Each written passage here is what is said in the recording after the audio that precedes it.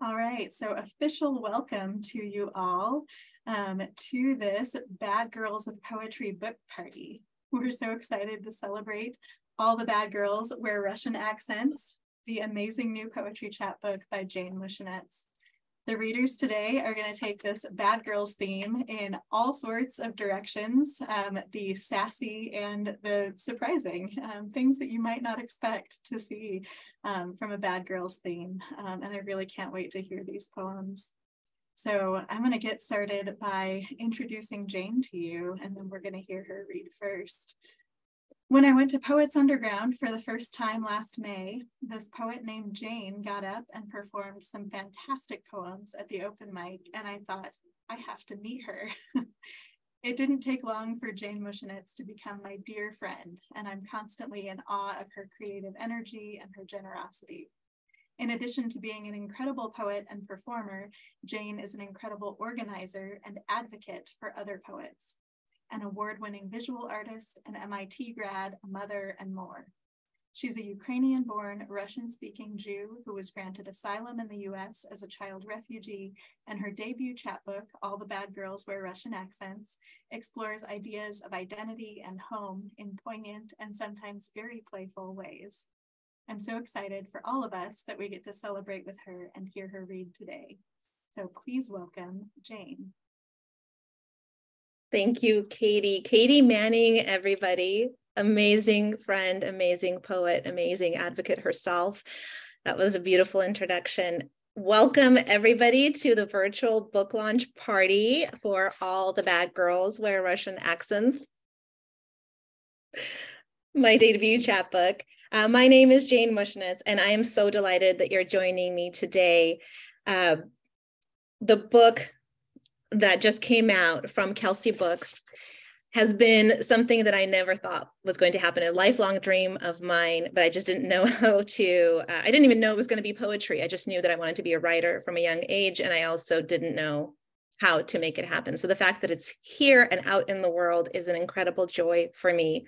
For the next hour or so, we're going to be celebrating together by sharing and reading on the multifaceted theme of bad girls of poetry. And I have Katie Manning to thank for the inspiration for that theme. It is delightful. I am thrilled to be joined not just by all of you in the audience, but by some of the talented and incredibly supportive writers who are inspiring to me in many ways and have been instrumental in the journey of this book and for me in my own personal growth as a writer and as a person. I will be introducing them later on. I just wanted to say that we got a chance to celebrate a couple of weeks ago here in San Diego, and Katie encouraged me to do a virtual book launch, which she then supported by actually hosting and enabling it.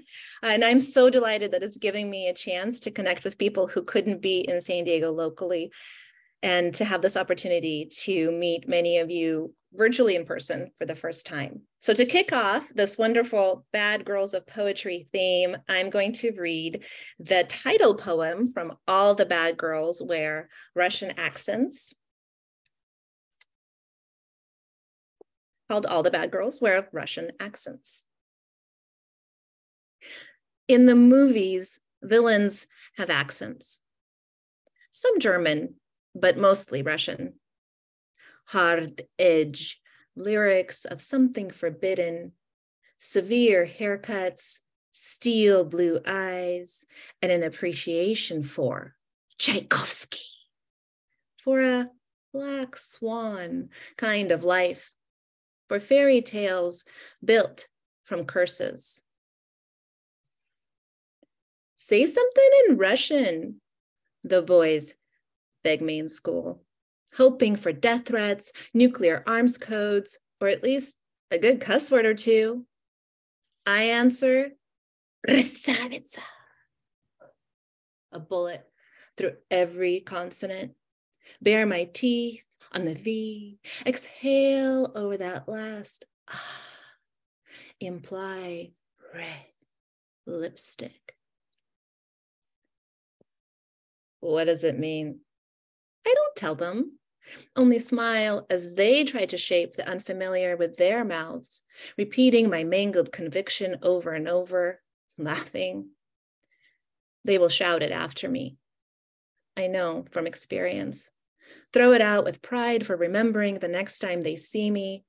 Maybe even use it as a perpetual greeting for the only Russian speaker they know, which is why I won't teach them anything ugly.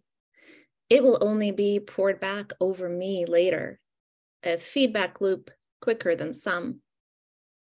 Krasavitsa in Russian means gorgeous woman, which in the movies, all the best villains are.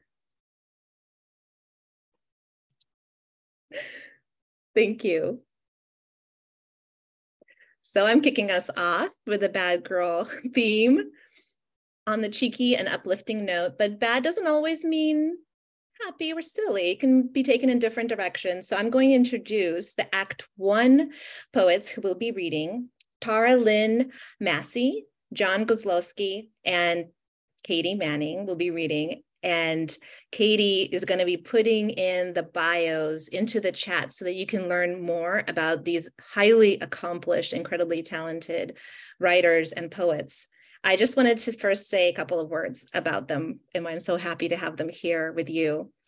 So, Tara reached out to me because of a poem that was published in Mom Egg Review as a poem of the month. It's Lviv, Ukraine, and it is the opening poem of All the Bad Girls Wear Russian Accents.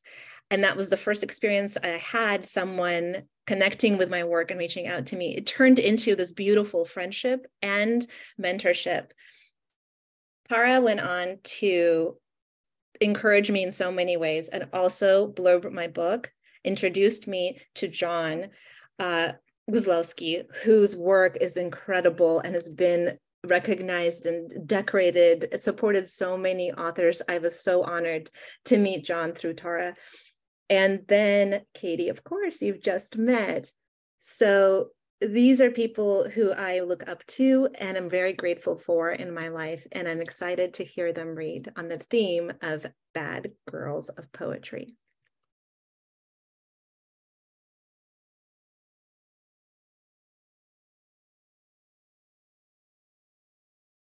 Should I get going? You get going. Sorry. Sorry. Okay. I wanted to hold up this beautiful copy with the tassel that came with it. Um, so happy. It's a it's a beautiful collection, um, inside and out. I love that your beautiful face is on the front cover. Tell your husband he did a great job with it. Um, you you know, very happy for you, thrilled, and very nice of you to do this party with with extra people here. I mean, this is really your night. Um, and I, I was telling people before that I was going to wear a party hat, but decided that didn't look too uh, bad girlish. Um, but thrilled for you. And I also want to acknowledge Marjorie Tesser, Mom Egg, for pulling Jane's poem into, and making it a poem of the month, which is what really uh, I think was the first step in her, you know, getting this book out. So uh, thank you, Marjorie, for that. I'm going to read, actually, I'm less of a poet and more of a prose writer. So I'm going to be reading a piece of flash fiction. It originally uh, did publish in Counterexample Poetics because some of my my work sometimes kind of crosses into prose poetry. And uh, this this is sort of the dawning of a bad girl rather than a bad girl story. It's called Those Shorts. We call him Mountain Man. He lives at the end of the road, not a mountain road, just a flat suburban one. We call him by this name because he sports one of those unkempt beards, wears flannel shirts, and keeps a junkyard dog that gets loose from its leash and terrorizes the neighborhood.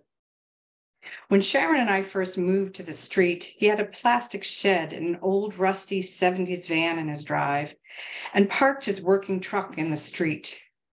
He is what we used to call a junk man, but today we call a hoarder.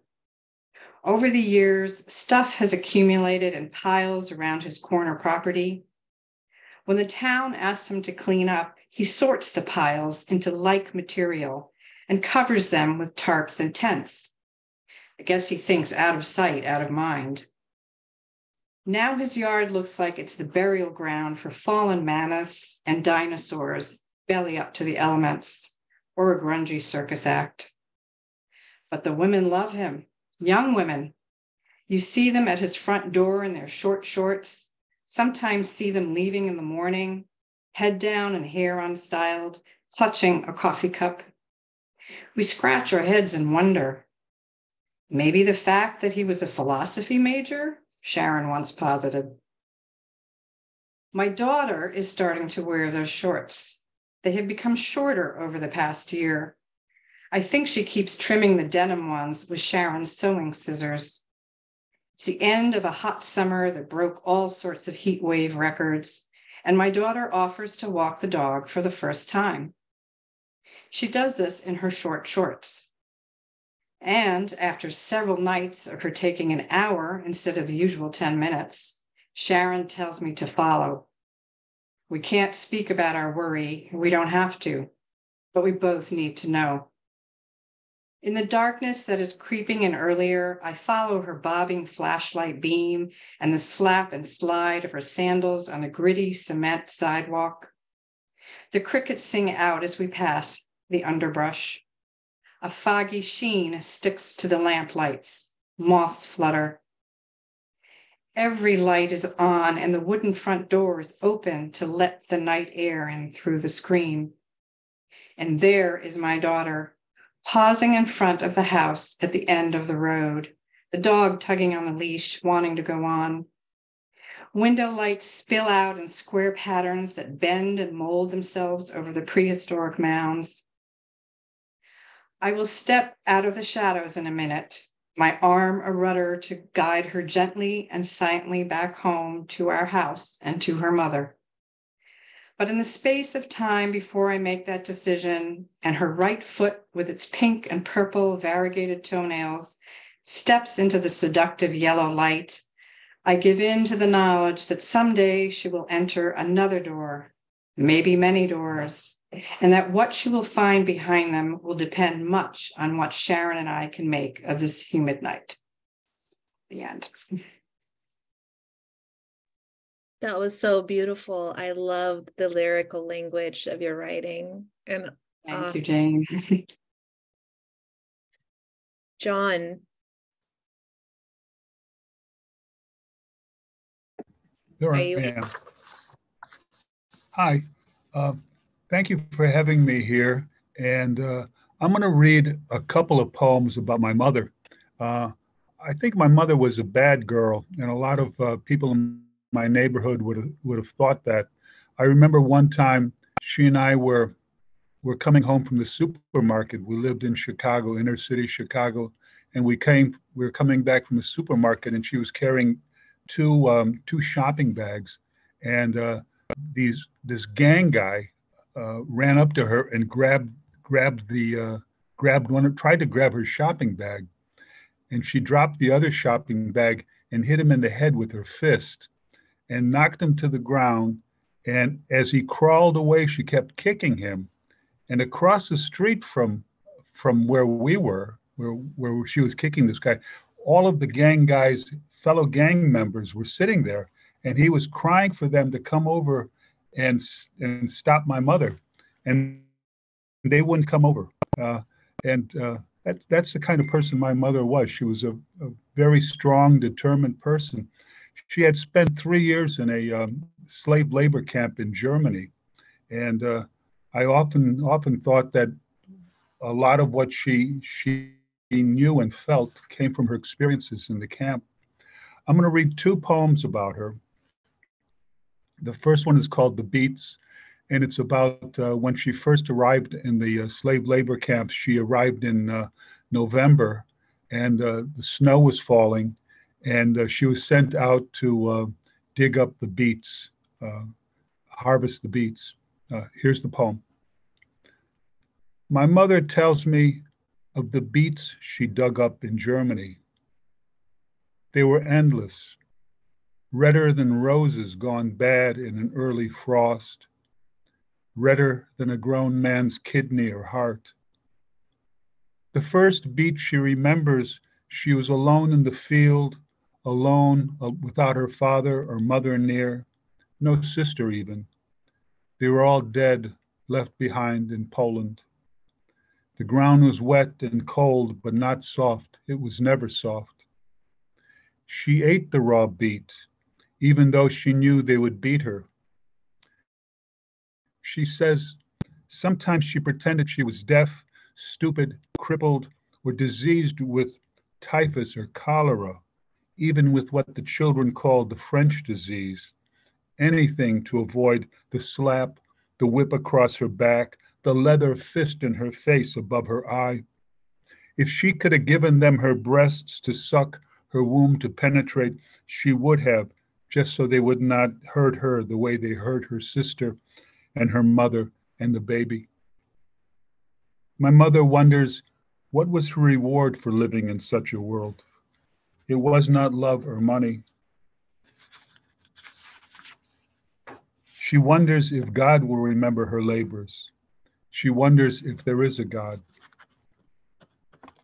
Um, the second poem I want to read is a poem called What the War Taught Her. My mother learned that sex is bad, men are worthless, it's always cold, and there is never enough to eat.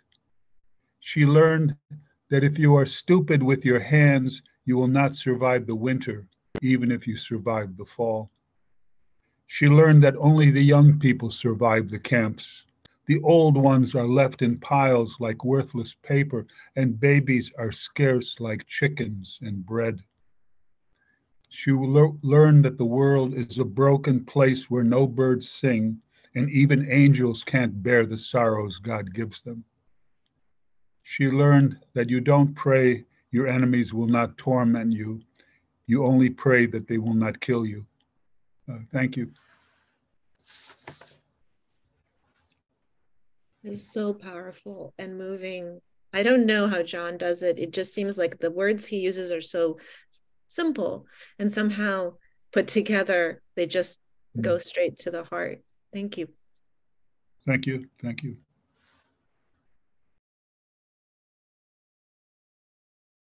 All right. I'm next. Um, john that was gorgeous. Thank you so much for sharing. Um, i'm going to share um, just one brief poem from uh, each of the last three collections that i have um, one that isn't out yet, so sneak preview. Um, the first one is a poem from 28,065 Nights, which is a poem that I wrote uh, to and about my granny um, after she died. Uh, and so these prose poems, I think, explore how stories keep us alive. And one of the things I was talking about with Jane is how when we're young, we're sometimes told that we're bad girls and that's something that's put on us. And then when we are grown um, or a growing bad girl is something that we claim for ourselves. And so i thought i would um, maybe play with that in the poems that i read. Katie before you go on i just wanted to say there was a request for louder in the oh, chat. sure um, my throat is a little sore so i will be as loud as i can but i'm a little hoarse today so when your granny panties saved me. One time when I wet my pants at your house, I knew my mom would be mad. I was too old for this. You washed me up and put me in a pair of your underwear. The white briefs were baggy on my little body and made us both laugh when I ran through the house while we waited for my clothes to go through your yellowed washer and dryer. Then you got me dressed before my mom returned from work. You never said a word. I never forgot. I stood up at your funeral and told this story. The next poem I'm going to read is a honeymoon poem and a strip poker poem. and it's from How to Play um, and uh, apparently, I write a lot of poems about underwear. I don't know. I didn't realize I was doing this until recently. So, whatever. Um, this book is poems that were inspired by games. One way to use a deck of cards for John. How you were no good at poker. How you lost each sock, then your shirt, in our red room at the bed and breakfast. How the world was expanding. How we looked over photos of Prague with our host over pancakes the next morning. How we took turns trying on the words, we're married. How we puffed up hills, caught trolleys, ate sushi almost daily for a week. How we stood between a protest and free art. How a ticket for the movie we didn't like is still your bookmark after 15 years. How I look at you now over piles of clean laundry on our bed after our sons go to sleep. How I wish I could replace the laundry with a deck of cards and a smaller stack of clothes, the ones you're wearing now. Wouldn't it be nice we could just replace laundry with strip poker? Yeah, that would be nice. So the last poem I'm going to read is from this book that doesn't technically exist yet. It's my new book that's out next month with Agape Editions, and this is a printer proof, and I'm so excited about it. Um, and it's called Hereverent. And in this book, I use the last chapter of each book of the Bible as a word bank. So I only use those words um, as the words to create each poem. Um, and I did this because I'm tired of people taking language from the Bible and using it as a weapon against other people. And so I am using that language as sort of a protest um, and creating art with it instead. So this is the one that comes from Lamentations. It's the book of Lamenet. We mothers are weary no more. We get our skin hot as an oven, violate princes with our music Dancing has fallen to us because of our hearts. These things our eyes always forget.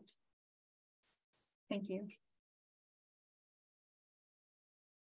Thank you for that. That is so fun. I love all your collections. I'm collecting them over time slowly, and I wait. Uh, I'm actually going to be reading at Katie's virtual book launch for Hereverent on Friday, April 21st at 6 p.m. Pacific time. So I'm looking forward to that.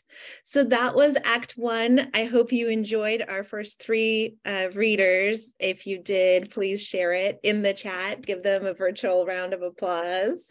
I am going to read another poem from my book, and it's called Stilettos Over Grass Plots. And the way this poem came about is a good friend of mine happened to go to a Russian funeral and asked me what the deal was with attire. So it kind of brings in together a couple of the themes that have been discussed. One is attire. It does not directly mention underwear, however, but it does talk about the different armor that we use to survive uh, as immigrants and strangers in a strange land. Stilettos over grass plots. I don't need a closet full of Gucci. There are only so many Russian funerals I'm required to attend. It's not disrespect or impracticality. That full breasted, open lipped eulogy wearing brand name sunglasses, carried groceries across snow laid banks to feed her ailing parents, tore open every artery to sharpen the blade of beauty. Migrating birds have their own kind of camouflage. My people wear stilettos over grass plots, outline tragedy with leopard print and lipstick lift up tombstones to label check if they're good enough to belong here. It's not necessary.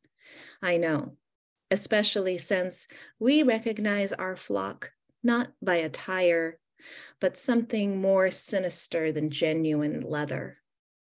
Something behind the eyes asking.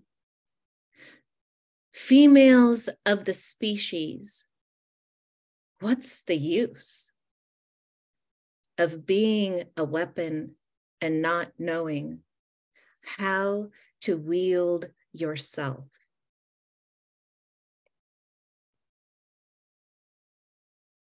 Thank you. I am now so excited to introduce Act Two. the readers in the section, and Katie so kindly is including the bios for everybody in the chat. Please check those. We're going to start off today with Shyla Shehan, Elizabeth MacDuffie, Marjorie Tesser. Shyla, I am so excited I got to meet in person at AWP last week. She chose, she, she's the editor of the Good Life Review, which is an amazing publication. And she chose my poem, uh, For Those of Us Forced to Flee, for the Honeybee Literary Prize this summer and it is also included in this collection. I'm so so thrilled and so thankful. And that's how she and I started talking and corresponding. Elizabeth was one of the first people who published me in Meat for Tea. This is the edition. I have a feel good about being a writer stack next to me, in which places I first got published is displayed. Uh, and Meat for Tea out this month. I have two poems in the Meat for Tea this month's edition as well. And Marjorie Tesser, last but not least, Mom Egg Review, Mervox, was close behind uh, Meat for Tea in publishing me. And I have five of the poems that were first published by you in this collection. So, really, that is uh, the foundational underpinnings of uh, All the Bad Girls Wear Russian Accents. Thank you so much. Shyla, please start us off. Thanks, Jane, um, for that introduction. And um, thank you for inviting me to read um, and celebrate your new book. I'm very excited to be here and to meet everybody um, in the in the um, book launch today. The first poem that I'm going to read is actually from Jane's book. Um, when I read the book, this is one of the poems that kind of resonated with me. So that's why I wanted to share it with uh, you all today. It's called Babel, and the epigraph reads When people had all one language, they said, Let us build a tower to the heavens. Let us make a name for ourselves. God saw and said, Behold, they have all one tongue, and this tower is only the beginning of their ambition.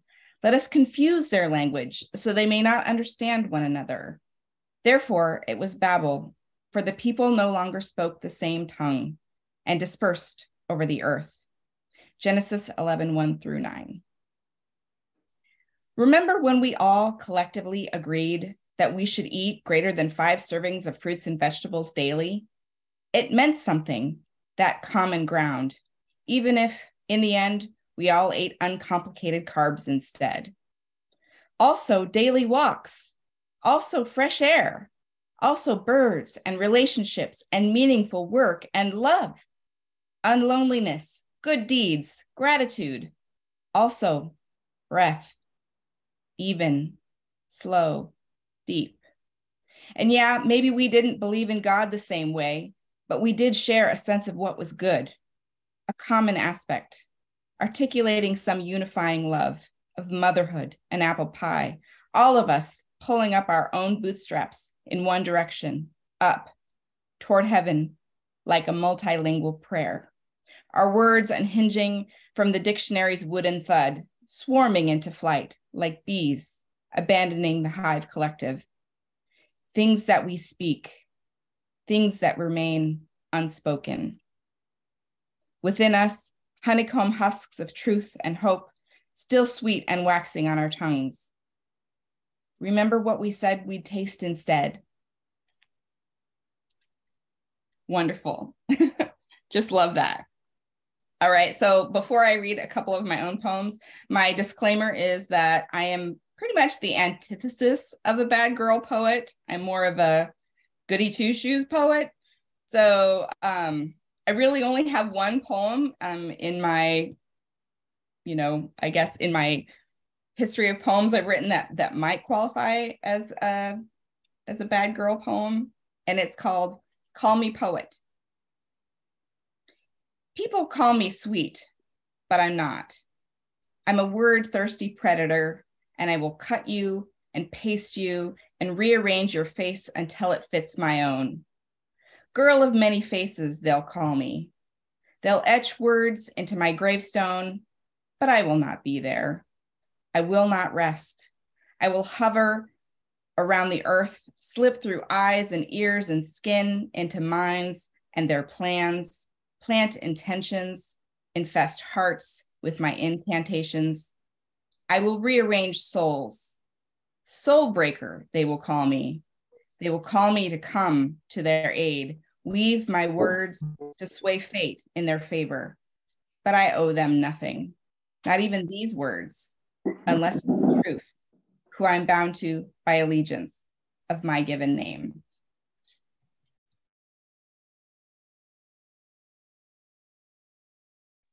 That is totally bad girl. I don't know what you're saying. The line, I will cut you, I think kind of sets the tone. Amazing. Thank you so much. Thanks. Um, and then let's see.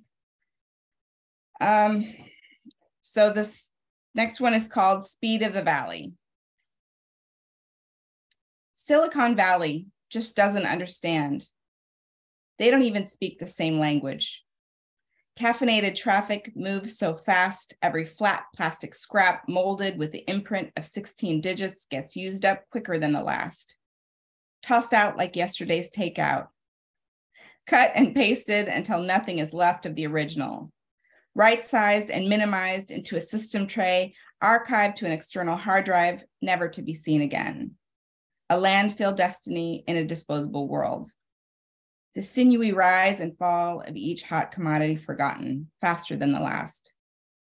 Slow down the earthly turn.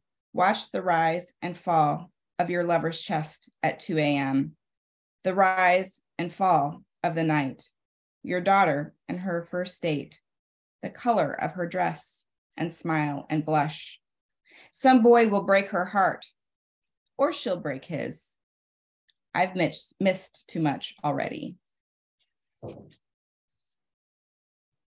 And the last one I'm going to read um, kind of fits into that same theme of connection and language. Um, and it's called Mining the Gap. There is silence between us, and I have failed so far to find a word that you and I can agree on. I'm a landlocked lava rock and you are open water. I'm a blooming flower, and you are stalactite. I'm a Bluetooth keyboard, and you're a ream of paper. We are juxtaposed and oblique, trying to navigate a sea of deaf space between us. I am traveling dictionaries to get to you, and I'm not giving up. Thank you.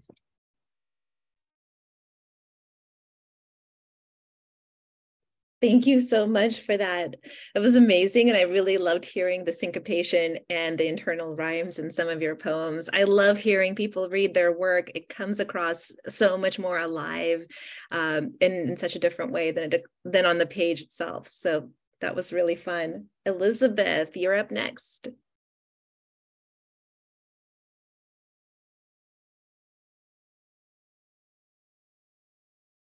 Hi, so I'm going to share some pieces by friends of mine and then read one of mine. But this is from my friend Kristin Bock's collection, Glass Bikini, a 2021 release from Tupelo Press. And it's brilliant. And I have to take my glasses off. It's called Phantasmagoria. It's quieter here in the house, fewer voices just the occasional startle of melting snow falling from the eaves like bodies. They say all bodies are composed of gossamer films. Each time you photograph one, an actual layer of skin, so thin you can't see it, is removed and transferred to the photograph. Likewise, if you stare too long at a photo with longing in your heart, a spectral layer peels itself from the image and works its way like a worm into the eye, that sentinel organ between matter and spirit, between sleeping and waking. I wonder if that's why I dream of my dead father half in the past, half in the present, his artist eye wandering into a milky cloud of ectoplasm. Have I created these fibrous webs or have they created me? I've taken too many pictures of the cows in the back field. They look weak, thin, and seem to be fading into the snowpack. They say a woman in the throes of lovemaking must not look upon an image of a beast, not even a pastoral painting hanging by the bed, lest her child be born with hooves instead of hands. Inside me, a menagerie of cows. Once my lover, who died in a house fire, came to me in a dream, eyelashes burned to the quick, ice blue eyes bluer than before. We talked. It's so quiet tonight, I hear the faint clatter of cowbells. Funny thing, there are no cows in the field, haven't been for years. They say our words, our actions, even our thoughts imprint on the picture gallery of the universe, a permanent record on a great canvas to be judged by a greater being. Are those stars or holes in the canvas shielding us from a terrible light? Sometimes, when I'm sleeping, a voice barks at me from outside the dream, from the room I'm dreaming inside. It's so loud, I wake with my hand on my ear, no body next to mine. All things shed themselves and recollect inside us. A cow, for example, is always emitting a transparent copy of itself, fluid like, through the air and into the eye, where it materializes into a tiny replica. In dreams, these films collide, mingle. All my dead merge into one hybrid body. There is a deep and constant lowing from the field. So get that book. And a short one from my friend Donna Lynch, her book Girls from the County, a 2022 release from Raw Dog Screaming Press.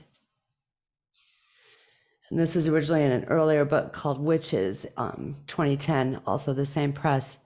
My grandmother, the hunter. Could it be any colder out here in the wood? Oh, grandmother, what shall we do? We'll chop up the birch and slaughter a deer. Dear child, we will make it through. Could it be any darker out here in the wood? Oh, grandmother, how will we see? We'll light up our torches and walk by the moon. Dear child, just follow my lead. Could they be any crueler, these ravenous wolves? Oh, Gran, here they come for my bones. There's no need to cry. I'll skin them alive. Dear child, you're never alone.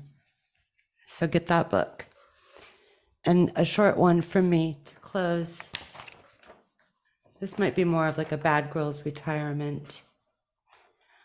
It's called Nesting. I'm building a nest to call my home out of mussel shells and seagull bones. I'm building this home behind a dune. I'm sure back here there'll be plenty of room and shelter from sea breezes and tides. A lining of feathers keeps it warm inside. My children have all grown, and so this home is my very own. There's only room for me in my avian home by the sea. So here I'll live out my days till I am an ancient crone. I'll wander the shores by the light of day, searching and digging till I find the buried seal hide I know is mine. Then one day, when I'm withered and frail, I'll slip the hide on and zip it right up and slide into the sea where my Selkie sisters have been awaiting me. Thank you. That was fantastic. I love all the fairy tale elements that are threaded throughout all of the poems. It just feels like, oh, there's something to discover, a little treasure just for me inside each one. Beautiful. There are questions in the chat for you to please list the name of the presses and the books that you read from in the beginning. Marjorie, you're up. Hi, and uh, thank you, Jane, for having me. And thank you for your poems, which I was so pleased to publish. Uh, it's always exciting to discover a poet whose work you love. And um, I feel that way about yours. And thanks to all the other readers whose wonderful words just kind of buoyed me up today, and Katie for uh, arranging this reading. Um, and thanks also for proposing the theme of bad girls, because it kind of got me thinking as to who do I, you know, what I thought of bad girls when I was younger was a certain imperviousness and veneer and toughness. And now, kind of uh, what I think of as badass in a poet is a willingness to um, show some questioning and vulnerability as well as fearlessness. So I'm going to read one from Diane Seuss, which I who is I think one of the most badass poets ever, and then a short one of mine. This is uh, this was originally published in the Rumpus, and it's a sonnet. It's called "My Favorite Scent Is My Own Funk." My least favorite scent, other. My favorite scent is my own funk. My least favorite scent, other people's funk. And this, my friends, is why we cannot have nice things. I value the advice I give others, but I don't like the advice that comes my way unless it reflects what I would have done anyway. You know how it goes. I like how my voice sounds in the car when I sing along with Earth, Wind, and Fire, but no one else can pull it off. No one. My bad acting when I acted was charming. I intended it to be bad as a comment on the state of theater in the 20th century. On days I don't have to see anyone, I don't brush my hair. I don't wear underwear or shoes or chemical potions meant to extinguish my funk. And in these times, I am nearly perfectly happy. If you're me, it's luxurious to go unobserved. When asked the inevitable question whether I'd wear eyeliner if I was the last person on earth, no, hell no. Eyeliner is war. When I'm alone, I lay my weapons down. And now here's a kind of recent one of mine that harks back to the time when I was younger and wanted to look like a bad girl, but like Shyla, probably wasn't quite as tough as I wanted to look. It's called Doing 69. When I was 12, my mother let me buy a trendy t shirt, the ringer kind, with a number smack across the chest 69. I did know even then it had something to do with sex, although I was fuzzy on exactly what. I felt delicious, dangerous, striding down my Brooklyn street with my blatant badge, new breasts beneath. Until a truck driver my dad's age leaned out his window to yell, 69, all right. Naive then, but still am to an extent, doing 69 worldly and innocent.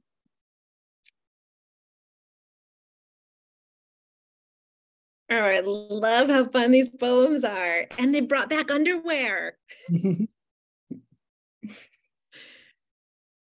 Thank you so much. Are you done? Yes, I'm done. I'm done. Oh, I want more.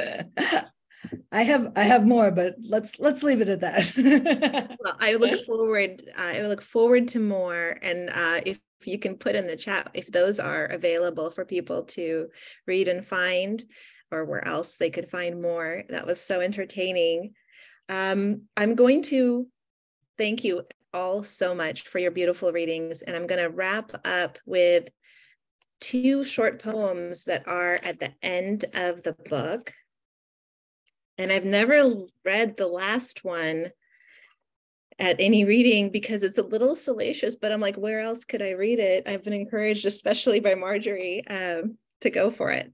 So I will read the ending two poems of All the Bad Girls Wear Russian Accents. Uh, tea smells like absolution and Yevgenia, which is my given name. Tea smells like absolution, a cup too hot to drink, boiling amber rich and heavy as a Tsarina's dowry. Mine are a pale people who sing, Ochi chornaya, black eyes, drink black tea, greet the new year at midnight, spin tales of deep, dark forests, endless winters deathless wizards and endless cold. Warm yourself by my fire. Tell me, what is your comfort food?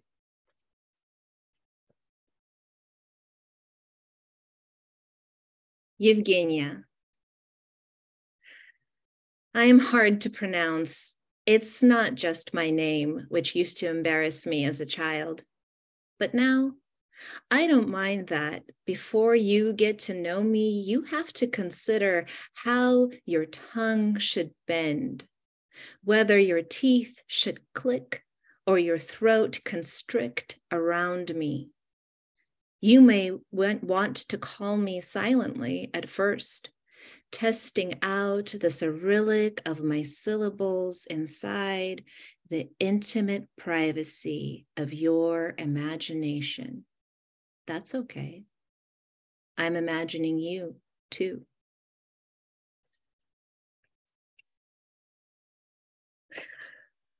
Thank you so much, everybody. If you have comments or questions, you can put them in the chat.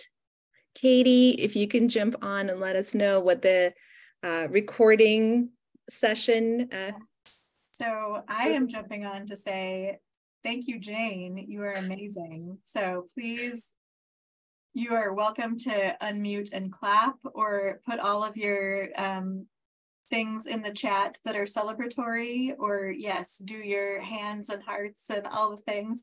Um, I'm going to put the link to Jane's book page in the chat. Um, you can order from the publisher. You can also order from Jane and get a signed copy. So all of that information is in the link on Jane's website. Um, I am going to end the recording here, but stick around for a moment. And if you're willing, we can unmute our videos and take a screenshot, which is the best kind of selfie type thing I can do virtually. Um, but thank you all for being here. Thank you, Jane. You are fantastic. Um, and we will stick around for a little bit of an after party if you want to ask questions or just you know, hang out. So let me officially stop the recording. Farewell to anyone watching this later. Thank you. Thank watching. you. Thank you so much.